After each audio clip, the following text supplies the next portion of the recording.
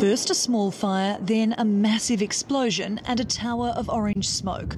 All clues to the trained eye that the blast in Beirut could have been triggered by ammonium nitrate. So when I saw the explosion on TV, I could see that the plume of smoke was this bright orange colour.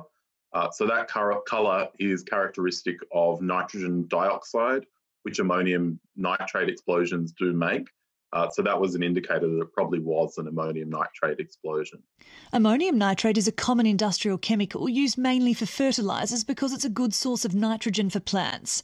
It's also one of the main components in explosives used in mining, but it's not explosive on its own. It's actually quite difficult to make the ammonium nitrate explode.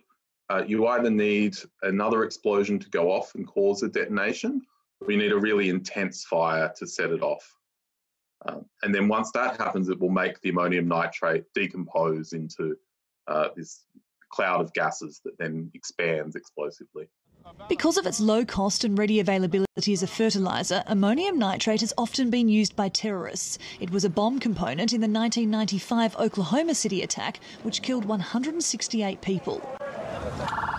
While the chemical by itself is not regarded as particularly volatile or dangerous, the extensive damage caused in Beirut proves under certain conditions it can be deadly.